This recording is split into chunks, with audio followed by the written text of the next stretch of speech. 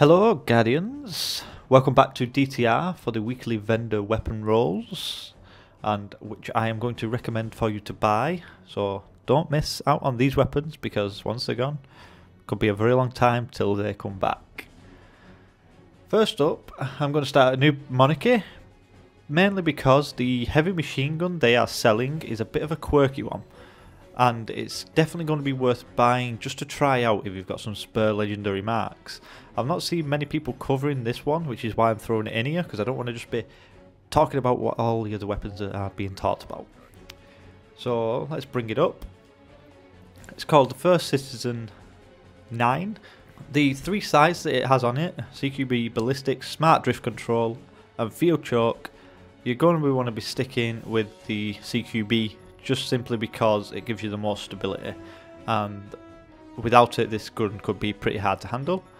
Next up we have armor piercing rounds and quick draw. Now because it's a heavy machine gun, it says it in the name, it's heavy. Quick draw is going to be the best perk to go with here. Without this it would take a long time for this weapon to ready up. With quick draw that's not the issue. Then has perfect balance or life leech. Now either of these perks are viable Perfect balance would make it a lot easier to handle, but I find this perk interesting.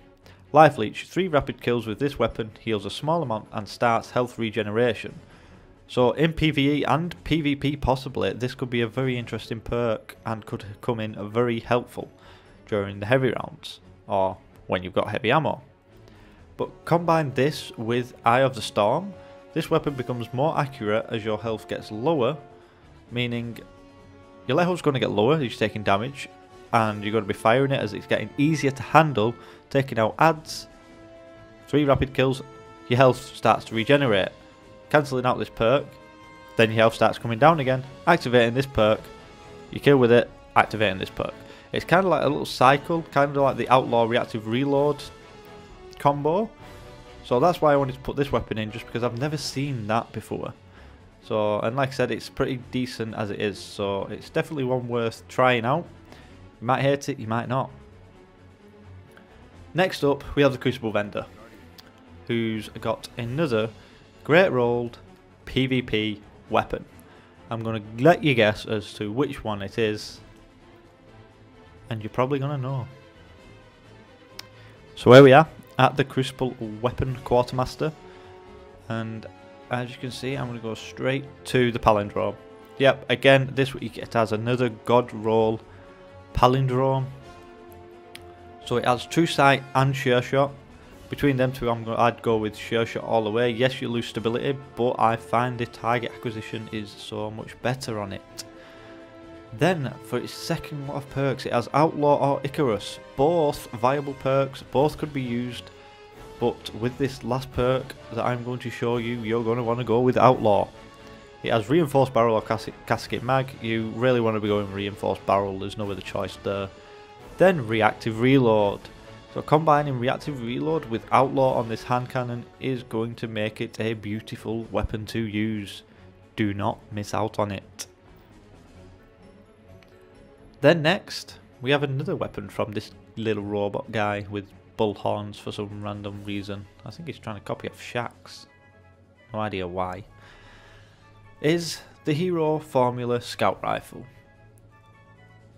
I've chose this weapon this week because you don't see many good PvP rolled scout rifles and this is one of them. It has a red dot scope or ranged lens or OEG rifle scope. You're not going to want to use them two, you want to stick with that red dot scope.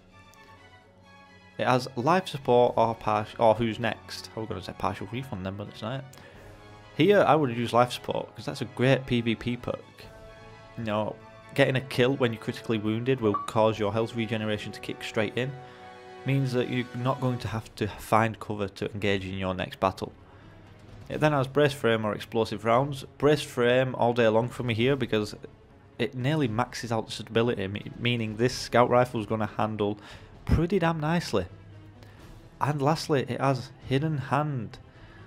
This means that the target acquisition on this scout rifle will be higher. It means aim assist, there's going to be more help for those headshots, giving you the upper hand in most battles. I have never seen a roll like this on a scout rifle. this is a sort of roll combined with rifle barrel that you'd see on a hand cannon instead of brace frame. So I would definitely pick that up if you're the sort of person that likes a scout rifle. I know plenty of people that do, and I know plenty of people that will pick this up, so don't miss out on it. Next up, we're going to take a trip over to the other robot in the vendor, and I don't mean the cleaning one. It's the Vanguard Quartermaster, Roni 5530. So here we are at Roni. And again, this week it's another weapon that seems to be making itself famous week in, week out. It's the Parthian Shot. So, this as Sure Shot, again one of the best sights in the game, alongside True Sight, but I prefer Super Sure Shot, and they'll call it Super Shot. That's my little nickname for it. It has Outlaw and Partial Refund. I'd go with Outlaw all day long here. It's just a better perk in my eyes. That increased reload speed after a precision kill, which you're going to get with this weapon, is just a massive boost. It then has brace frame or rifle barrel. Now you could use either of these perks, but I would go with brace frame because as a pulse rifle, this has plenty of base range already on it. So I'd stick with brace frame on this occasion. It then also has one of the best perks for a pulse rifle, the Head Seeker perk. Body shots with this weapon increase precision damage for a short time, so if you get 32 for a headshot, if this perk is active, you could get, I think it's 34 or 36. Doesn't increase it by much, but it does make that much difference in PvP, because 3 headshots per shot with a pulse rifle, remember? Next up, I'm going to finish up with the Future War Cult. Why? Because they are selling a very interesting rocket launcher this week, which I think many PvP fans will be picking up, if they see it, that is. So, wait for it to load. It is the Warpath with Solar Burn. Ignore the rest of the launches, you want to stick with confined launch because it keeps that blast radius up. It has Flared Magwell or Quick Draw, and as I mentioned previously, with heavy weapons, Quick Draw is your best perk to go with. This weapon will take a long time to ready up, this speeds up that process. It then has Perfect Balance or Tripod. No need for balance on a rocket launcher, so use Tripod. Get that third rocket in the tube, ready to fire. It then has Tracking, the best perk on a rocket launcher you could want. Meaning, Combined with this, this rocket launcher is a 3 in the tube tracking rocket launcher. You won't get much better than this for a PvP rocket launcher. You can fire 3 rockets and each and every one of them that will track their targets. Now, tracking isn't as aggressive as the truth tracking, but it's still more than good enough for someone that knows what they're doing with it. For example, in trials, this rocket launcher will be able to kill every member of the opposition team if used correctly. Meaning, it is very efficient and you don't see many of them out there. And that's it from me, Guardians. Hope you've enjoyed watching. Don't forget to drop a like and feel free to comment on what you thought of these weapons. Again, these are just my opinions. There could be other opinions out there that might disagree with me. I'm fine with that, but feel free to comment on it below. See you out there. Wright Way Gaming, over and out.